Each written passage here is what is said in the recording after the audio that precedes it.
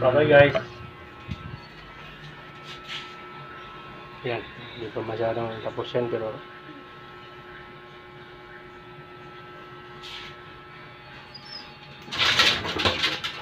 Pag gusto pala magpagupit, nandito lang kami sa boundary.